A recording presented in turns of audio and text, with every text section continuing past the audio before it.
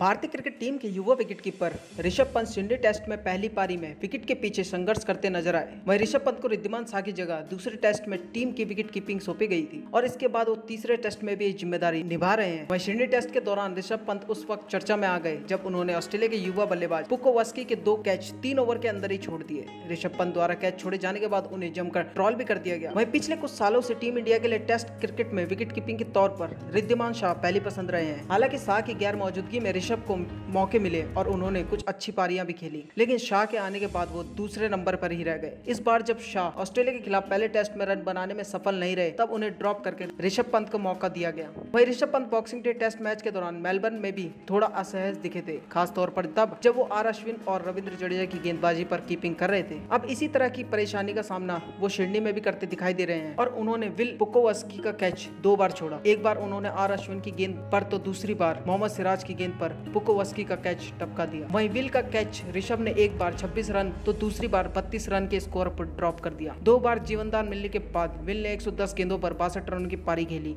यह उनका debut test match था और उन्होंने अपने पहले ही टेस्ट में, पहली पारी में अर्धशतक भी चढ़ दिया।